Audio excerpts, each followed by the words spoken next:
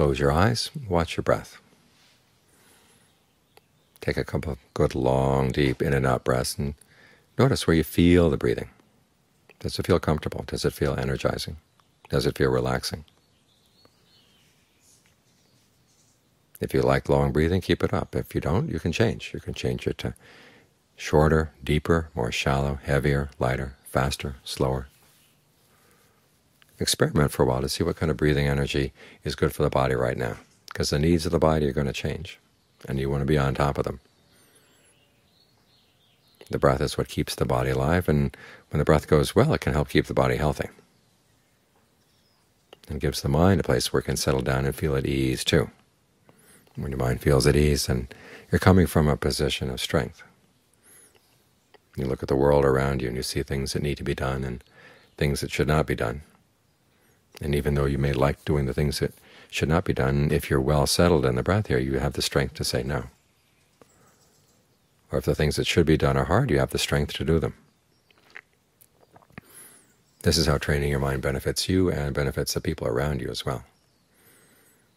Because if the mind is feeling weak and oppressed, then no matter how much it can tell itself this really needs to be done, if you don't have the strength, you're just not going to be able to do it. So meditating is what gives the mind strength. You've got the strength of conviction and that your actions really do make a difference in your life. You've got the strength of persistence, that when you see something's really good, you stick with it. If something's really bad, then you keep on saying no.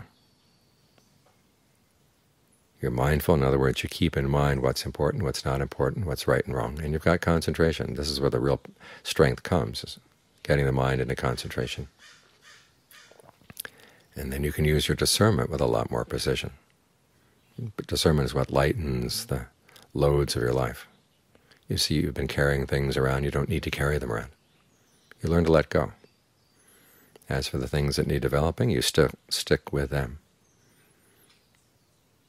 until you get to the point where they don't need to be developed anymore.